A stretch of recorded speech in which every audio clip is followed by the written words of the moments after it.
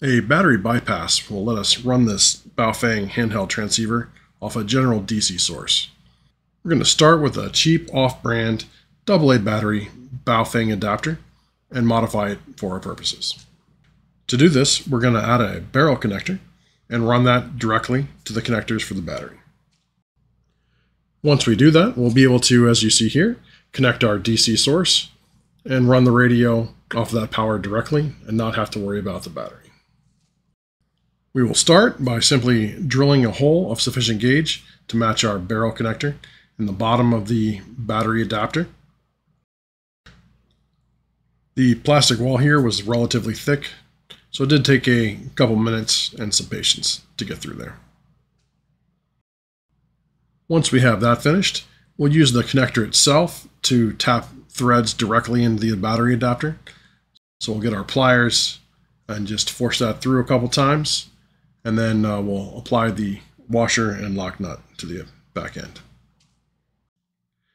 This was a little more fiddly than you might expect. There was very low clearance on the backside of the uh, the battery adapter, so it did take some some patience and a couple tries.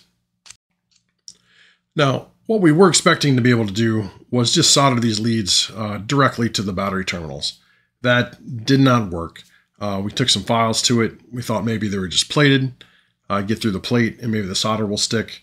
Uh, as you'll see here, even after filing those down, uh, we did not have any any joy um, soldering those leads to the terminals.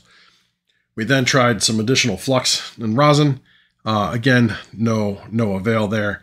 So we eventually just give up and we try to use some spade terminals. Of course, we don't discover this until after we've cut the leads. So we're going to go ahead and solder the portions we have cut off back on, and then we'll add some heat shrink tubing uh, back to it. And of course, our laboratory assistant smelled the solder in the air and came out to help us apply that heat shrink tubing. So you'll see here that we did have some help uh, applying heat to the tube.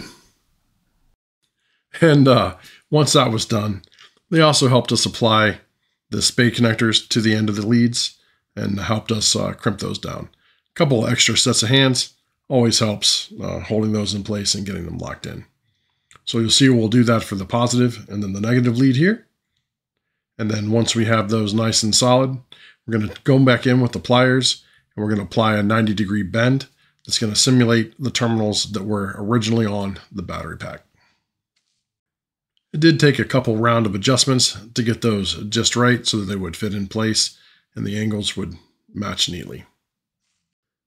Once we're satisfied with that, we're going to go ahead and attach it to the radio and see what we have.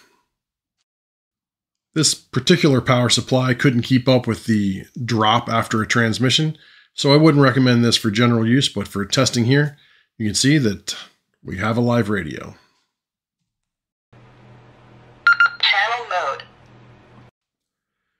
So there you have it, a easy, cheap Baofeng battery bypass. Tune in later to figure out why we thought we needed to do this to start with. Until next time, this is a Little Loud Labs, back to net. 73.